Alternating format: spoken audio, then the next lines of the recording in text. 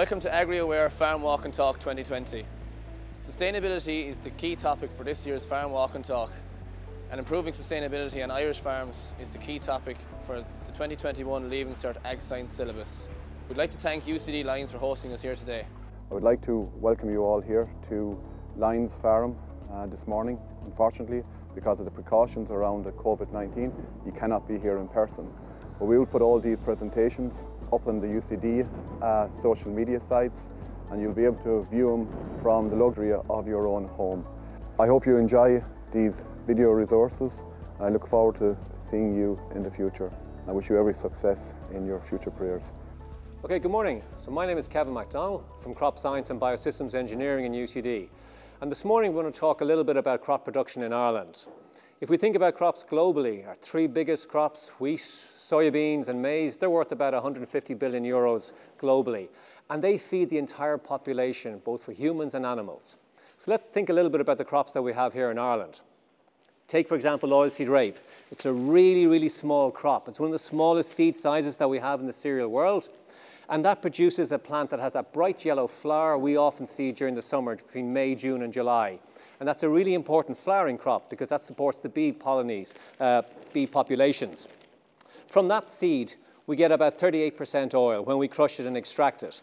And that oil, it's a very highly nutritious oil, so we can use in human nutrition, but it also has a lot of value-added ingredients as well. So it's used in paints, inks, dyes, it's even used in polymers, and it can be used in biodiesel as well.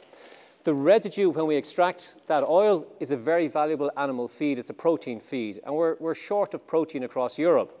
So one of the other crops we grow is a really large size uh, cereal crop, and that's field beans. And field beans are a really important source because they're non-genetically modified crops. So when we have the issues associated with genetically modified crops in Ireland and across Europe, here's an alternative to it. It's a protein crop that we can grow in Ireland and supply a protein source for us. And it's a really important source across Europe. So a lot of other crops we would grow in Ireland, for example, barley, again, in Ireland is one of our most important crops. We use that primarily as a feed ingredient, and feed crops across Europe use a lot of barley ingredients within them. The feed market in Europe, a lot of it is driven by the Middle Eastern market. And the Middle Eastern market is driven by the amount of camels that are available in the Middle East. If the camel trade is doing well, there's a big demand on barley. When the camel trade is not doing so well, not so much of a demand for barley. Now in Ireland we don't have a lot of camels, but we do use our barley for a range of animal feeds, but also we use it for a value-added ingredient which is for the malting and the brewing industry. And there's a growing international appreciation of the quality of Irish malting barley for the uh, malting industry and particularly for the developing whisky industry as well. Some of the important other crops that we would have in Ireland would include, for example, oats. So the oats that we grow are both winter and spring oats. Um, they're a very different structure, a very different fibre, as we can see to our, our other conventional beans and oilseed rape crops, but they're also very important for animal feed. So historically, we would have grown oats for horse feed, and that again is an internationally recognised market. But oats are also gluten-free, so anybody who is celiac would be using oats as an important source of ingredients in their diet. And if you have a breakfast cereal where you have oats in it, it's a really slow release of energy, so that keeps you going right through the day, as well as supplying nutrients, vitamins, and minerals to you as well. We're also looking in, in UCD about the relationship between the underground proportion of the plant, the roots, and the above ground biomass. So taking those um, beans that we spoke about earlier, if we pull a bean plant from the soil, we don't get an awful lot of information about the roots and the root structure associated with it. Whereas if we extract a core and we x-ray that core, we'll get a lot more information about the root architecture and how that root architecture can support the development of these crops. So when we look at, at, the crops around Europe, a lot of crops do not meet their yield potential. The genetic potential that's there is not reached. And one of the big reasons why they don't reach that is due to not being able to get access through water throughout the growing season. So we're seeing how can we establish crops under different cultivation systems and enable those roots to get down to the water that's there in the ground. Beans have these tiny little nodules on them, which enables them to fix nitrogen from the atmosphere, so they don't need nitrogen when they're growing. The other crops do need nitrogen. And we would use technology such as the automated and the precision agricultural spreader that we have here. So let's go take a look at the technology that we might use for controlled application rates of fertilizers. So as we mentioned earlier, our crops need different nutrients in different amounts throughout the growing season. And one of the technologies that we use to apply that is a precision agricultural spreader like we have here. And what this does is linking it to the global positioning system in the tractor. It knows exactly where in the field it is. We link that to the soil map so we know the types of soils that we have. We're linking that to the crop growth guides that we have. So it will apply and adjust the rate of fertilizer to that exact crop in real time in the field.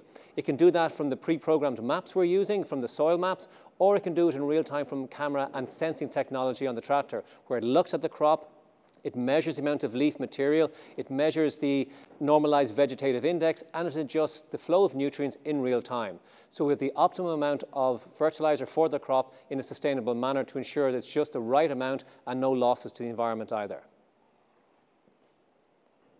Okay, so bearing in mind what we were talking about with that precision agriculture application for nutrients, think about these roots that we were talking about earlier. So we want to optimize how these roots are growing through the soil and how they can get down to that water and get down to that nitrogen that we spoke about. So our cultivation systems are looking about how we would do that. And it's also really important with our cultivation systems. So as we can see here in the case of wheat, we can see the massive roots that's underneath the soil. It's really important that we protect that because the soil contains about twice as much carbon as we have in the atmosphere. And we have a lot of discussions about our carbon dioxide emissions. So if we can maintain the structure within our soil and maintain a healthy soil, we can keep the carbon levels within that soil. And that's really important for sustainable agriculture going forward. Linked to that structure of root mass within the soil and the subsequent soil structure associated with it is the ability of that soil to hold water. So as we mentioned earlier, a lot of plants run out of water throughout the growing season. If we have a well-structured soil with a healthy biology, that can hold that water within the soil and release it back to the plants throughout the growing season. So these changes in the weather patterns that we're seeing, the really wet weather, this soil can act as a sponge to hold onto that and release it back when, when the plants need it throughout the growing season. So the way we manage our plants is becoming really important to the impact on the soil and soil health and soil biology. So I suppose, in conclusion, plants are a critical part of how we're going to feed the world going forward, both from an animal population point of view, but from a human population point of view as well. They're really valuable from a nutrient point of view, but they have also a role to play in protecting our soils, keeping our soil biology healthy, but also maintaining the carbon balance and indeed the water balance within the soil. So our simple crops that we've looked at previously, they have a huge role to play in our society going forward.